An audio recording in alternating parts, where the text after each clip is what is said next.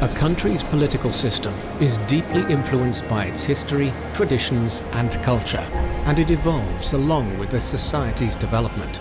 我宣誓忠于中华人民共和国宪法。 肯定选他，他很热心的，所以我们一定他无私的奉献。 China's economic prosperity has brought with it a remarkable improvement in living standards. As for people's political rights, how have they evolved amid the rapid economic growth? 不是简单的表达一下观点，投一个票那么简单。我们不仅要看到自己的利益，也要看到他人的利益。 Are they entitled to engage in politics? 为什么要选这些代表出来？他们代表的是谁？Are there avenues for people to voice their opinions? 听到我们基层的心声，这个立法才能有的放矢地体现出来。Is their feedback being heard?